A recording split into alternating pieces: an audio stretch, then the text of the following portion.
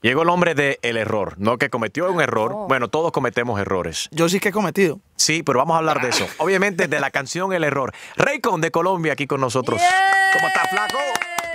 ¿Todo bien? Todo bien, todo bien, gracias a Dios. Eh, como estábamos hablando antes de, de- de entrar a la entrevista, trabajando muchísimo, porque cuando uno empieza este camino aquí en los Estados Unidos, en lo que es el mercado mexicano, países tan grandes, hay que estar dispuesto a que hay que trabajar desde muy AM hasta muy PM. Entonces yo creo que siempre se encuentra esa disposición en nosotros.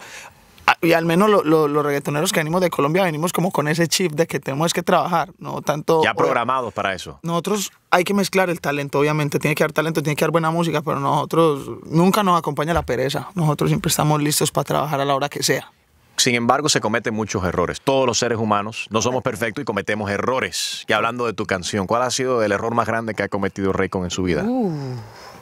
Pero confesamos cosas duras o con el Du- no, dura, normal? dura, dura, dura. Nada fresa, nada fresa, No, dura. ¿sabes yo en qué me equivoqué? Yo lo acepto mucho. Ojo, pues que ahora no vaya a decir, ah, es que este tipo se llenó de plata. No, no, no, no. Escuche pues el comentario. Dale. Yo vengo de una familia que es bien humilde, ¿cierto? Cuando empecé a coger un peso, al empezar a cantar, empezaron a cambiar muchas cosas en mi vida y me equivoqué demasiado.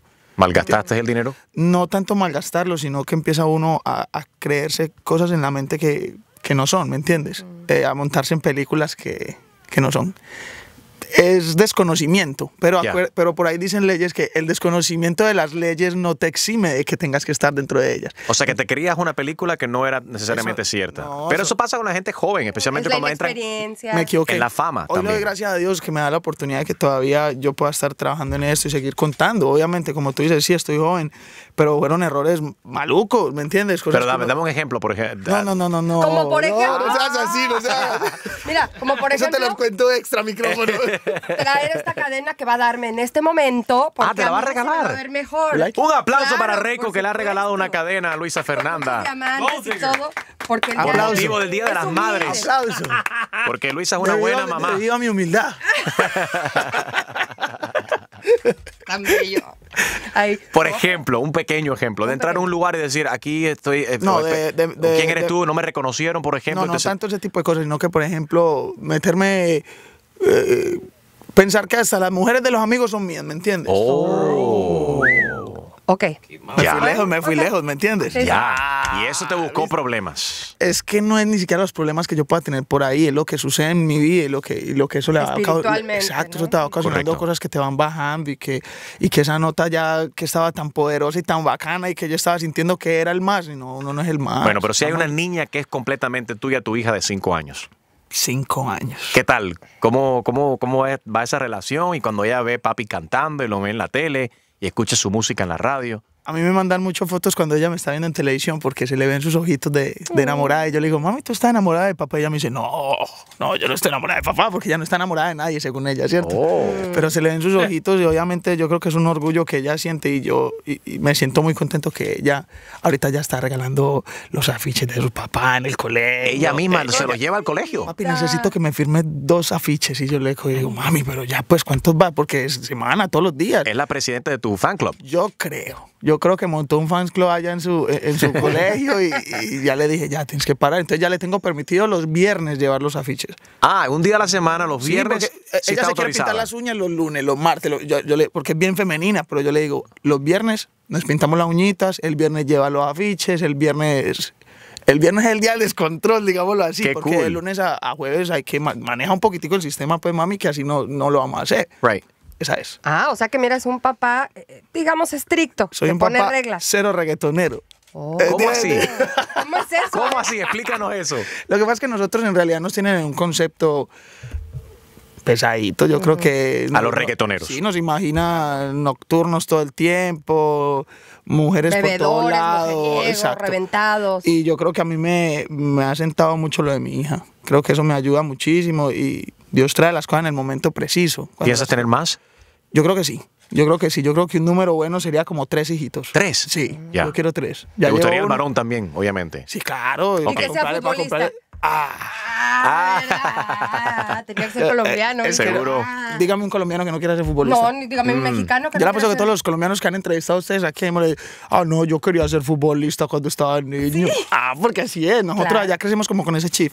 Crecimos viendo al pibe, a- a- al Tino, entonces nosotros, no, ahorita James, toda esa, Sí. toda esa oleada. Entonces uno dice, no, yo futbolista. No, y pero- que se paraliza el, el país completo cuando, bueno, la selección colombiana estuvo, estuve presente en, en Colombia Cuando cuando, llegaron del cuando Mundial llegaron. Desafortunadamente fueron eliminaron, eliminados ya al final, pero estuve presente ese día, la cantidad de gente y como se, la, es un... No, es una vibra. Sí. O sea, el fútbol allá mueve. Una celebración demasiado. nacional. Sí. No, todo estuvo parado, la gente ni trabajó como por dos días.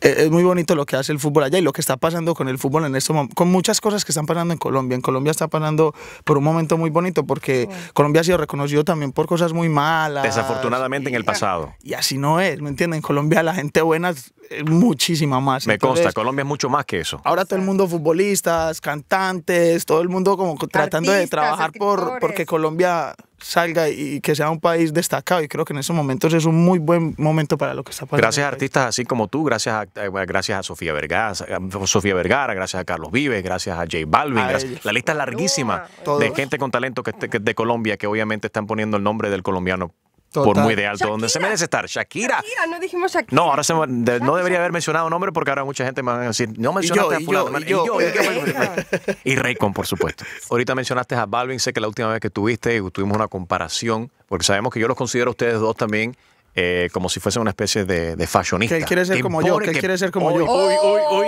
que imponen Eso lo la moda. Sí. no, lo acabas de decir tú. Nada más cuando yo me lo encuentro, Sí. eh, recién esa entrevista, y yo le, eh, como tú lo llamaste al aire. Sí, sí, lo eh, llamamos en Y WhatsApp. él dices que no, no, sí. O sea, yo creo que la relación que ha habido entre él y yo es más por los años, no ha sido tan musical. Yo creo que nosotros nos conocemos hace muchos años y nos tenemos como, decimos nosotros los paisas, las mañas, como los truquitos, las cosas. Nada más el viernes pasado estuvimos en una disco y, y nada más con miradas. Yo veía cómo hacía más de seis meses no nos veíamos, fue con una sola mirada, ya sabíamos qué era lo que queríamos y qué era lo que no Se queríamos. ponían al día así al momento. Sí, inmediatamente. Yo creo que es demasiado clic el que, Sí. que existe entre nosotros, pero yo creo que es por eso mismo, porque hemos guerreado desde el principio. La verdad, a mí me alegra muchísimo su éxito, porque su éxito conlleva a que haya más trabajo para todos. Correcto. Pero ¿No? ¿quién viste mejor? ¿Raycon o Balvin? No, yo, yo, yo. Claro, eso está claro. Qué gacho, estás amarrando navajas. Y, por ejemplo, ¿Eh? ¿tú crees que realmente hay amistad en, el- en los medios o no? Entre los cantantes, entre los actores. Si tú sabes ¿o es así diferenciar, si tú me- sabes diferenciar bien y mirar la competencia como tienes que mirar, sí puede haberla, claro. Yo creo que sí, porque obviamente competir es muy sano y cuando no hay competencia a mí no me gusta. A mí me gusta cuando yo compito contra algo, Seguro. cuando obviamente, a ver, yo cómo es que se viste Enrique, yo, Ah. voy- yo voy a ir mejor a los premios mejor vestido que él, ¿me entiendes? Una, pero una competencia sana. Pero cuando yo vea a. Enrique, que cuando yo vea a Enrique, yo no, yo no tenga por qué sentir algo negativo cuando lo veo. Entonces yo creo que en el género, creo que sí hay personas que se quedan, que se llevan mal, sí lo hay. Desafortunadamente. Sí. Selfie Raycon, háblame de esto. Esa es la tendencia, todo el mundo se toma su selfie. Es más, yo veo las tuyas a toda hora. Tú sí, Sí. que te tomas selfie. No tanto como Raycon, porque Raycon es más bonito que Enrique Santos. Pero te digo Pero yo no tengo ni barbita ni nada. Pero de yo te, puedo- pero te puedo decir cuál es el, pero yo te puedo decir cuál es el secreto. Yo te puedo Ayúdame. decir cuál es el secreto. Por favor, ayúdame. Eso con un poco de, de- de- de mi abuelo me lo dijo. Cuando no te crece así pero en la, en la cara, te pones un poco de, de gallina y te ayuda. No, me voy a quedar así. Bueno, o, chía, o semillas de chía pet. Lo que después tienes un olor distinto, ¿no? No, no, ya. no te quedas así sin barba. Ya me quedé así. Ya, ya, ya, ya Hay no. un nuevo estudio que acaba de salir que dice que la gente que se tiran muchos selfies es porque tienen mm, mm, impotencia. No, una vida sexual bastante deprimente. ¿Salió eso? Deprimente. Deprimente, o sea que tienen menos Ahorita- sexo. Ahorita por fuera del Exceso micrófono hacemos de- una llamada y preguntamos. A ver si sí. ¿A quién? ¿A quién llamamos? A la que es. Oh. A la que tiene el dato oficial. Oh. Y es una solamente. Es una sola. Es una. ¿Estás Es con- una. ¿Te piensas casar? Yo estoy más casado. Yo, ya, yo, ya, yo ya no tengo ni para dónde tirar. Ya. Ya. Yo creo que ya. Pero es oficial, como legalmente, con anillo y Sí, todo, no, por la no, corte y bien, todo. Todo bien, todo bien. Todo Hubo está bien. boda, tiraron arroz, De llegaron todo, invitados. arroz, flores, de todo. Ok. Ah, bueno, So, ya está. Me Estás fui off lejos. the market. Me fui lejos. Ya.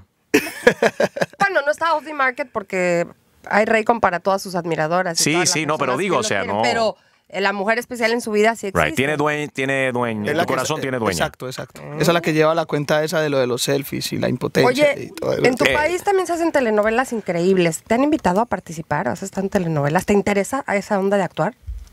A mí me gustaría. La verdad, pues, no lo he hecho.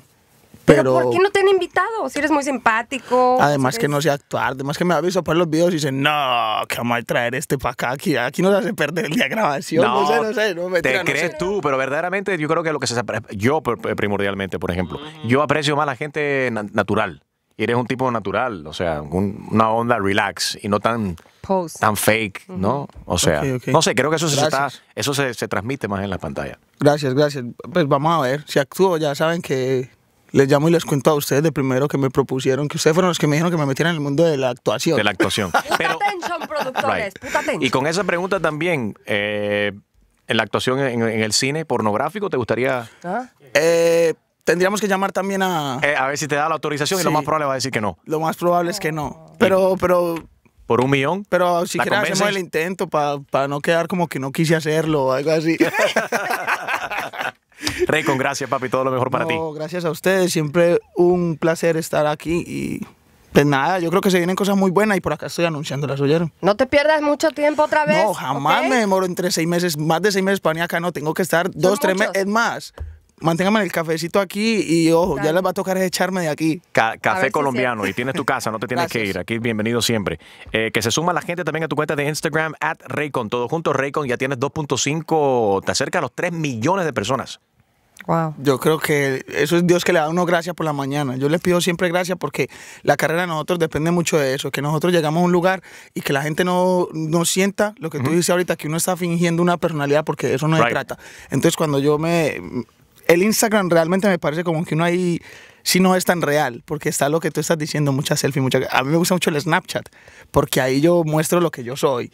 Y cómo me río con mis amigos, cómo pasa esto, cómo estoy en un aeropuerto y hago la fila igualito que el, otro, qué me pasa cuando... eres normal igual que Y eso que le gusta, demás. eso le encanta a la gente. Yo veo los views. La gente que lo tiene. aprecia mucho Sí, más. Entonces me encantan las redes sociales por ese tipo de cosas. Realmente a mí me gusta es que me vean lo que yo soy. Yo, como te dije, yo no, no puedo tener una máscara porque yo sé que es la fama. Créeme que hay, ella te va a dejar. En algún momento nos va a dejar, entonces yo no quiero como enamorarme de ella, ¿me entiendes? Esa es. Super cool. Raycon, gracias, papi. A ustedes. Muchas gracias.